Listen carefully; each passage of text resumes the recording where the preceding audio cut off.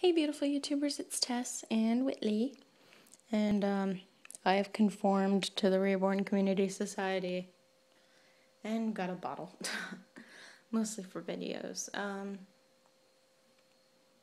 yeah, I used uh, Elmer's glue and then warm water, and I'm not shaking it up right now because I'm still, um, I'm nervous that the the warmth of the water and like the uh, condensation, I guess, rising might soften up the glue a little bit. So I'm going to let it cool and you know keep it like that for a few days before using it, or at least for a day or two.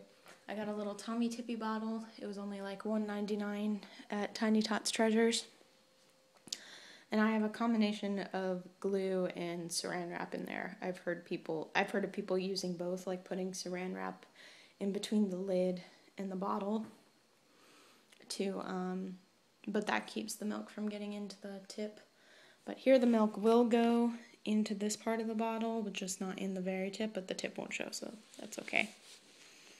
Um, for making more of these, I'm definitely going to get more Elmer's wood glue because that's, it creates like the perfect color. Let's see, let's compare it to something white. So like there's white, and it's the perfect, just slightly yellowish color that baby formula would be. And it's a cute, simple, gender neutral bottle, so that's nice. Anyway, love you guys. Bye.